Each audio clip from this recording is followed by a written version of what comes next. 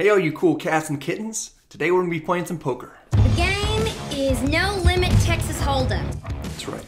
It's a sit and go tournament. Buy-in is $50,000. Blinds will increase every 45 minutes. No, it's not. Um, not sure where you're getting your information from, but it's completely inaccurate. It's a 5-5 cash game, and the max buy-in is $600, but I get into a ton of all-in situations, a lot of big pots. I think you guys are going to enjoy it.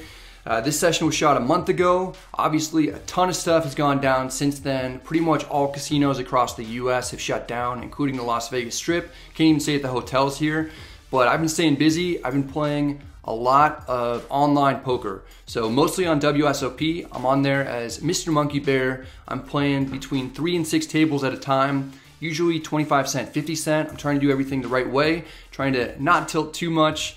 And uh, I probably played 50 to 60 hours and I've won about $600. So I'm using this pre-flop guide from Upswing. It's really helpful.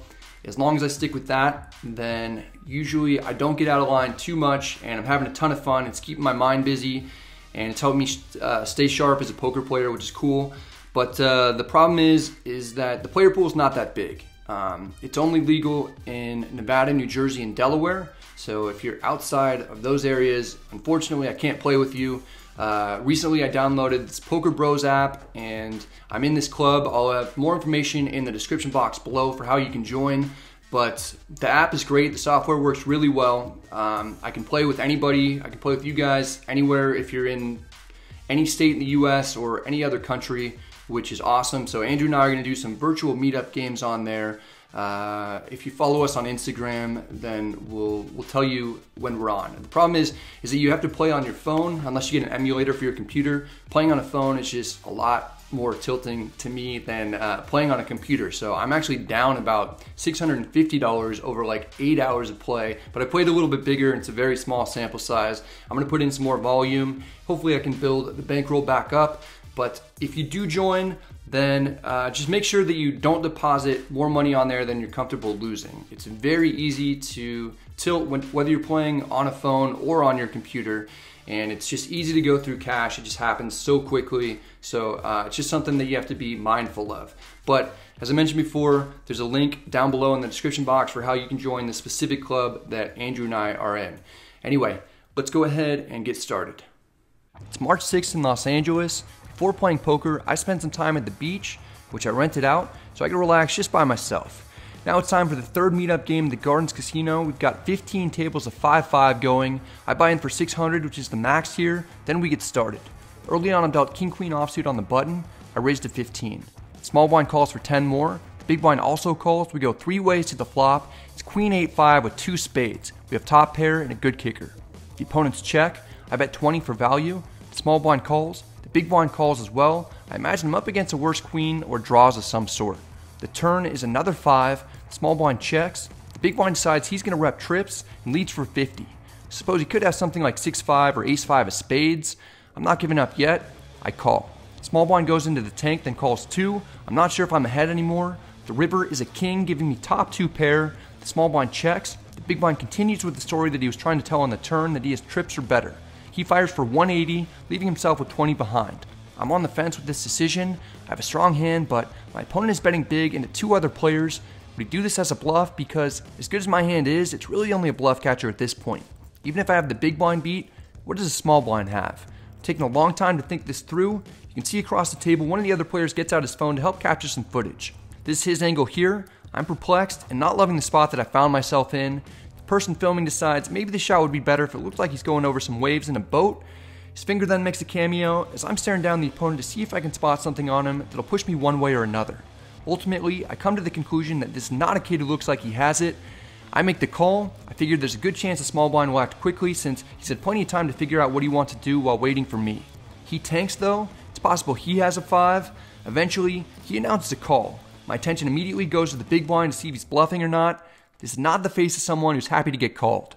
Small blind turns over ace king offsuit with the king of spades. He made an ambitious call on the turn, but he drilled top top on the river. The big blind doesn't want to show what he attempted to bluff with, and he mucks. I turn over top two pair to win it. I thought there was some chance that I was behind both players, so happy to take this one down. It's a large pot for a $600 buy-in game. I've got over a thousand in front of me.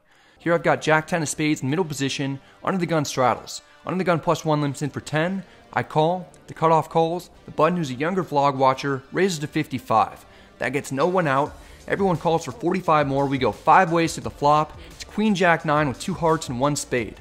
I've got middle pair with an open-ended straight draw and a backdoor flush draw.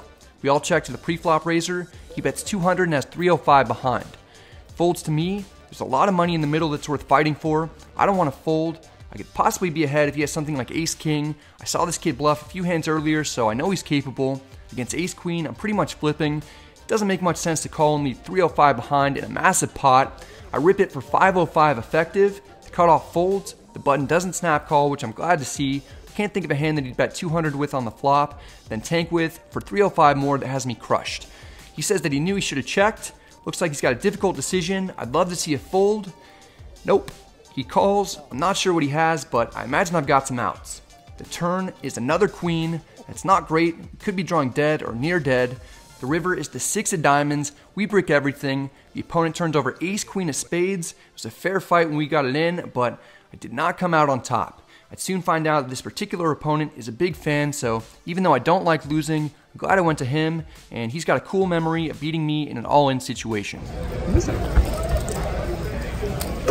I gotta say, he hasn't said much, but this guy idolizes you, so this is a big deal right now. Nice win for the kid. Meanwhile, I'm stuck, and not too thrilled about that, especially after being up several hundred in the beginning. Add on for 400 more, I'm in for a thousand total.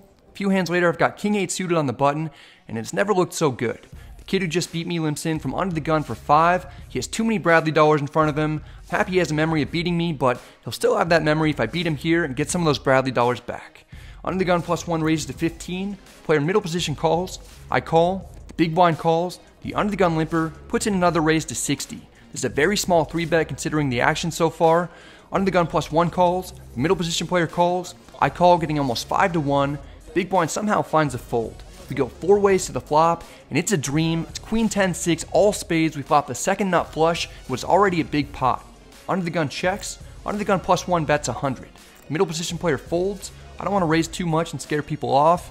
I make it 250. I've only got 300 behind. It'll be easy to get the rest of that in if anyone wants to stick around. Under the gun folds. Under the gun plus one just flats at 250. Part of me is wondering if maybe he has the ace high flush and is trying to trap me. The turn is the three of diamonds. It's a complete blank. Under the gun plus one checks. The pot is enormous compared to what I have left in my stack. There's only one move that makes sense. Wow. I've never been called faster in my life. Probably am up against the ace high flush. The river is the seven of spades. It's a terrible card. I'm the one who went all in, so I have to show my hand first. The opponent apparently isn't holding the ace of spades in his hand. He mucks. I get the full double up in a massive pot. It's been a roller coaster session so far. I was up 400 to start, then I got stuck 400. Now, just like that, I'm up 350 and I have 1350 in front of me, but the excitement isn't even close to being over. In this one, I've got king queen suited in the hijack. The under the gun player is straddled. Under the gun plus one opens to 40. I call. Big blind calls. We go three ways to the flop. The dealer puts out 10 9 4 rainbow. We have a gutter with two overs. Checks to me. I bet 65, hoping to take it down, but if I get called, I have a good plan B. The big blind folds. Under the gun plus one calls. We're heads up. The turn is a jack. We smash it and currently have the nuts. As things are getting interesting, Edgar, who is a legend in the Los Angeles area, interrupts to start a conversation with me. What's the difference between your wife and your girlfriend? While we're waiting for the punchline, the opponent leads for 200. What's the difference? 40 pounds.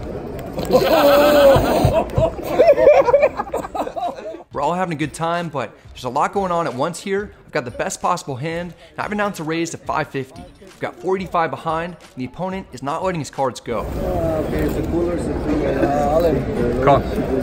Nuts? Yeah. Wow. Once he says that, I imagine that he's in trouble with the smaller straight. The river is the king of clubs, it's a terrible card. Flush draws get there, and any queen at least chops with me.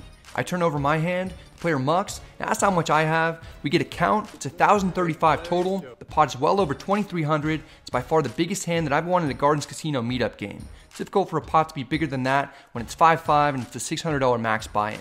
I've got a huge pile of chips in front of me. The dealer is my favorite, so I give him a $15 tip. Next we have Queen Jack offsuit on the button. I open to 15. Small blind calls, that's him right here. His name's Tim. I just invited him over to this table because I didn't get a chance to play with him in the previous Gardens meetup game. I told him that if he came to the next one, I'd make sure to play with him no matter what. The big blind also calls, we go three ways to the flop. It's Jack 9 4 rainbow, we've got top pair. Checks to me, I bet 20. I'm looking to get at least one call. I get it out of Tim. The big blind folds, we're heads up. The turn is the five of hearts. Small blind checks. A lot of times I check back for pot control. Here I go for it, betting 35, thinking I'm probably still ahead. Small blind calls. The river is the seven of spades. 10-8 gets there. That's about it. Small blind checks. I get the sense this player's one to call me down light, so I go for a third street betting 70. We hear something that sounds pretty good to me. I have no idea what you're gonna say. I called. The Queen Jack. The player shows his cards, and it turns out we did get called light. Four or five. What the fuck is that? Problem is that he called light pre-flop and on the flop. Then Tim smashed the turn to take the lead and win. I invite you over. My bad. You beat me. In it. You suck out. Nice hand, man. I appreciate it, Brad. Thank you. Nice hand. The last hand we'll go over, I've got queen 10 suited in the small blind. The hijack raises to 20. The cutoff calls. I call for 15 more. The big blind calls. We go four ways to the flop. It's jack 9-8 with two spades. We've got the nuts again. I check. The big blind checks. The hijack puts out a small bet of 25. The cutoff calls. I can't slow play this. There are too many cards that I won't want to see on the turn and river. Plus, we have multiple opponents. I raised to 125. Big blind folds. The hijack calls. We've got at least one customer. The cutoff then unexpectedly jams for 330 total. This escalated quickly. The hijack has another 755 behind. I don't want to get cute. Flat to 330, then have the hijack coming after me and somehow suck out. I rejam for 880 effective. Hijack tanks, then he folds. Cutoff made it sound like he was in a lot of trouble. I turn over my hand first to save him any embarrassment.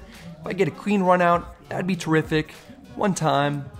The turn is a six. I like that one. The river is a 10. That's not what I wanted to see, especially because the cutoff starts cheering. Yeah. stop it up. Player has queen jack offsuit. He got it into top pair and a gutter. You definitely want people doing that kind of stuff, but it hurts when they hit the three outer to chop. Ridiculous. This is the worst player in LA. Overall, it's been a great night. I've been playing for a while, so I'm gonna book a win and rack up.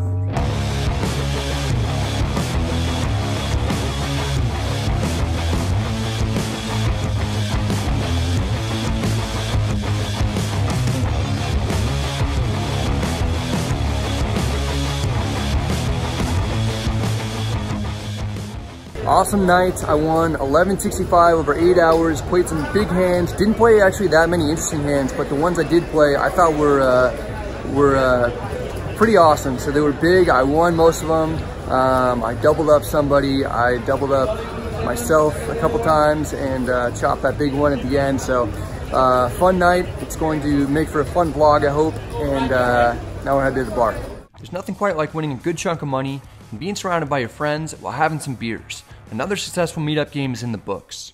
That's it for this one, guys. I hope you enjoyed it. If you did, please remember to hit the like and subscribe buttons and uh, make sure you hit that notification bell. That way you're notified anytime that I put out a new video. And I do have some new videos that are going to be coming out over the next several weeks. So I have some other live poker videos and then some other ideas for content that I'm going to create. Um, big thanks to Gardens Casino for allowing us to host out there. That's basically our home away from home. We're doing more meetup games there than anywhere else this year. And as soon as this all gets back to normal, we'll be back in the Los Angeles area and uh, we'll be hosting some more events. I'm really looking forward to that. In the meantime, if you're looking for more poker content, then uh, check out some podcasts that I've done recently that, that have just come out. So there's one with 888 Poker's Kara Scott. She's amazing. Uh, not only is she an accomplished poker player, but she asks interview questions that are a lot more personal. So they're much different than pretty much any other podcast interview that I've done. And then also check out uh, DGAF. He is one of the coolest guys in poker, and uh, you know he's becoming a friend of mine. I, I, know him through Check Raise Charles. He puts out a ton of good content. If you guys like this vlog, then uh, I guarantee you that you'll you'll enjoy listening to him. So I did an interview with him, and I'll have links to both those podcasts um, in the description box down below, as well as information on how to join the Poker Bros Club that Andrew and I are in. So uh, hope to see you guys around. We'll be doing some virtual meetup games. I'll be on the Poker Bros app a lot this week. Follow me on Instagram and, and I'll post every time that I'm on there. Hope you guys are all doing well. Hope you're staying safe, and uh, I'll see you next time.